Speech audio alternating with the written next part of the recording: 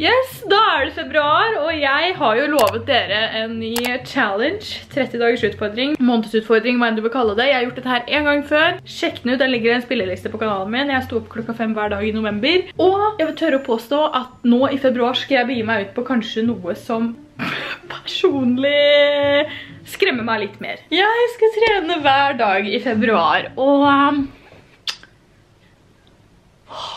Så kjapt oppsummert for dere som ikke har sett eh, den forrige challengen. I november så testet jeg et nytt konsept her på kanalen, en slags serie, som funket dritbra. Dere ga meg dritbra tilbakemelding. Jeg har aldri vært så motivert i hele mitt liv. Og det går rett og slett ut på at jeg er daily-blogger, som vil si at det kommer video hver dag, mandag til torsdag, gjennom hele måneden, som handler om det temaet som nå denne måneden her blir å trene hver dag. Men det er ikke bare jeg som skal gjøre det, fordi om dere har lyst til å være med meg på dette, så er det bare å slenge seg på. Jeg trenger nok massevis av motivasjon både i tankene, på DM, på melding, på Instagram, på Snapchat, på mail, og kanskje også i virkeligheten også, hvis det går an. Jeg vil bare gjøre så mye som mulig for tiden, for å bare få det bra med meg selv, og jeg har lyst til å ta med dere på det. Om det er å gå en tur, om det er yoga, om det er trappetrening, om det er meditasjon, altså trening kommer i så mange former og fasonger. Det er ikke bare, det er ikke bare sit-ups hjemme i stua, liksom. Nå er det en som har våkna her. Dette er Mila. Hun sover ekstremt lenge, tør ikke hoppe ned av senga, så da venter hun på at jeg skal ta og løfte henne ned.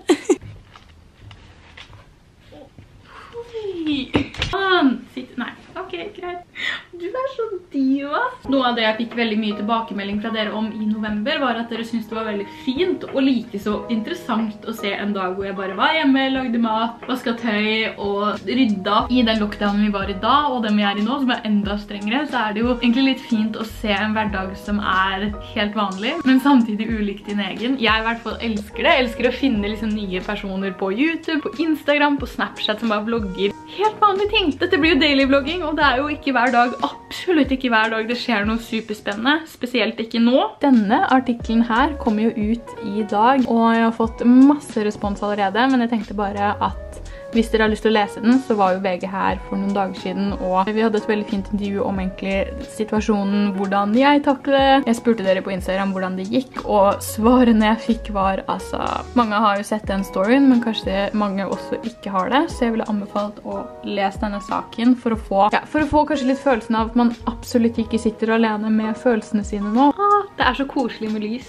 sånn sollys inn i leiligheten. Det er virkelig en av mine sånn det gjør meg så glad. Nå skal jeg faktisk ta dere med på resten av dagen, sånn at det ikke bare blir en sånn snakke, kjedelig video hvor alle er sånn, å herregud. Jeg skal få med meg Mila ut på tur. Ah, vi går på tur, eller? Mm. Skal vi gå på tur? Eller vil du ligge her? Jeg kjenner deg, skjønner du. Du og jeg, vi er alt for like. Skal vi gå på tur? Ja. Nei. Legg deg ned da. Åh, jeg, jeg og Mila er alt for like. Men nå skal vi gå på tur.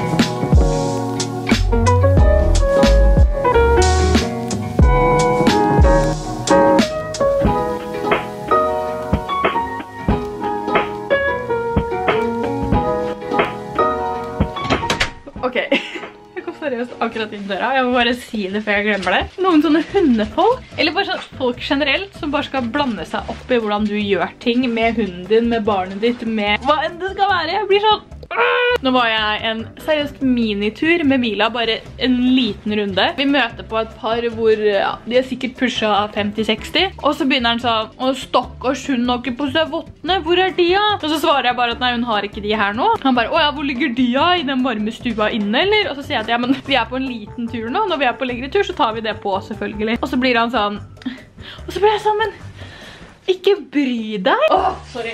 Sorry, sorry. Jeg har mens og har litt kort lunte. Møkka folk. Ikke bland deg opp i min business. Punktum finale. Nå trenger jeg litt sjokolade og litt ro i sjela. Ok, jeg klarer aldri sånn her.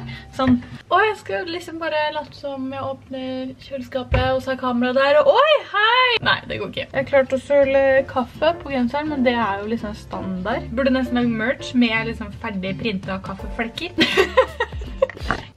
Men jeg har lyst til å tipse dere om Kolonial. Jeg har jo hørt om Kolonial før, men jeg bestilte for første gang i går, eller jeg fikk pakken min i går. Jeg bestilte så mye som jeg, for jeg tenkte sånn, vet du hva? Jeg kan like så bare bestille så godt det lar seg gjøre for hele måneden. Det kan hende jeg må bestille en gang til, men jeg prøvde å tenke litt smart. Eller, eller ja.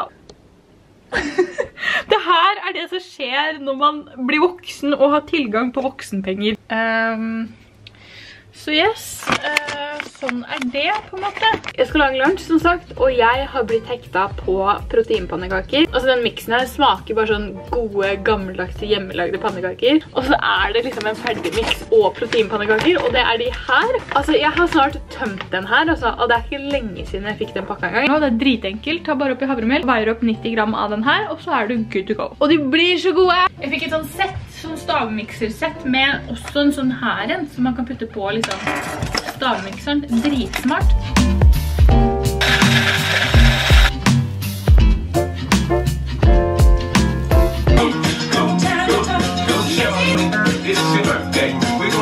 Smashing my in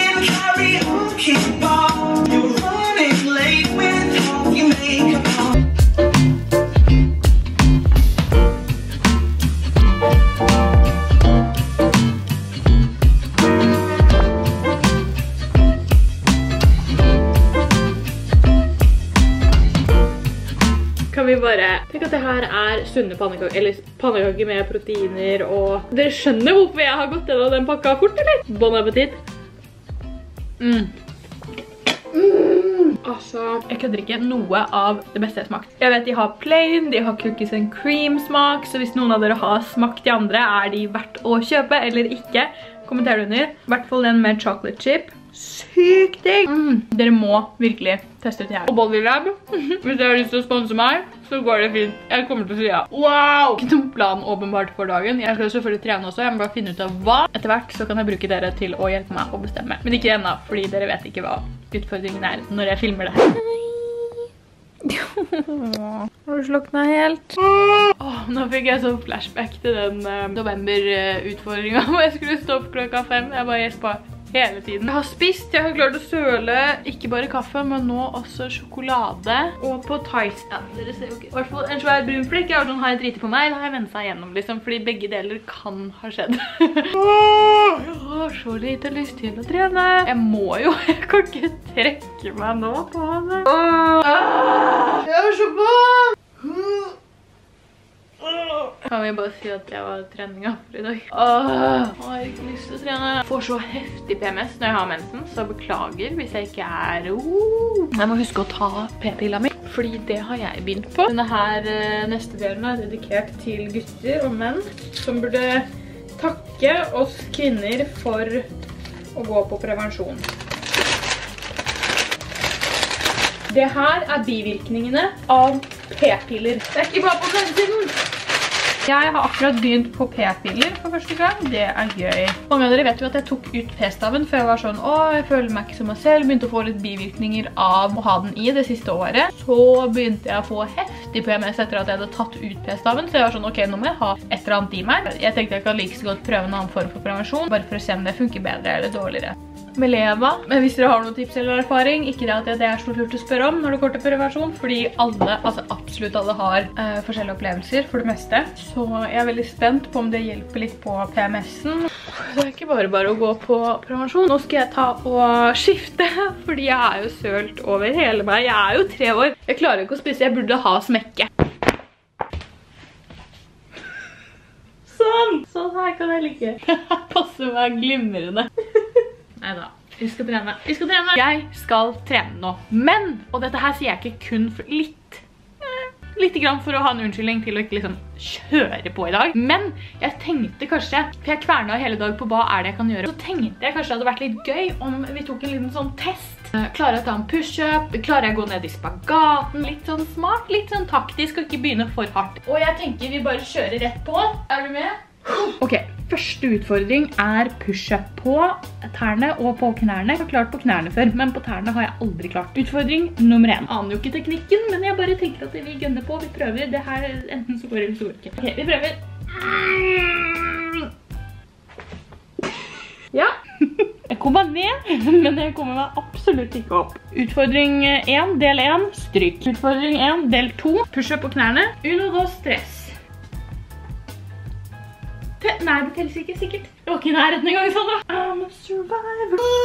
Ah, Hvorfor er jeg andpusten allerede? Det er dårlige greier. Men da sier vi det sånn. Utfordring 1, del 2, også stryk. Neste utfordring tenker jeg er planken. Planken er jo en klassiker. Det er ikke en øvelse som får tid til å stå mer stille enn denne. Klar, ferdig, gå. Åh, det var gått 20 sekunder! Halvveis. Åh, fy. Ah! 10 sekunder igjen. Åh. Tiden min ble 1 minutt, 2 sekunder. Åh. Jeg burde klare hvert fall 1,5 minutt innen slutten av måneden. Åh, fy faen, jeg er så dårlig for. Vi kan teste spagaten. Der vet jeg at den har jeg ikke så mye hopp på. Jeg bare gønner på, jeg. Ah, Det gjør vondt allerede. I'm gonna swing. Ah! Au, au, au, au, au. Det går ikke. Ah,